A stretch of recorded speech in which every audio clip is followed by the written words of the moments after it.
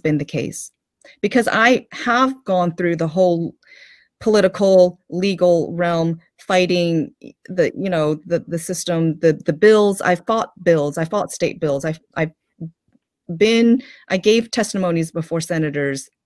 I can't tell you how many mayors i've spoken with um and attorney generals you know so i've mm-hmm. been there and i know their i, I know their um their rap.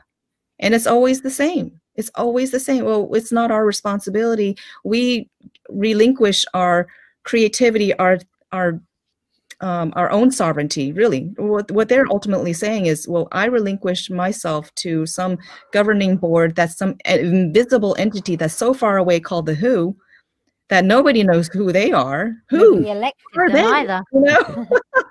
that's what I love to tell people. It's like, yeah, they're they're called WHO for a reason because who are they? Mm-hmm. They're not even a legitimate agency. As a matter of fact, they're under the, the arms and legs of the United Nations, which is also not a legitimate um, organization.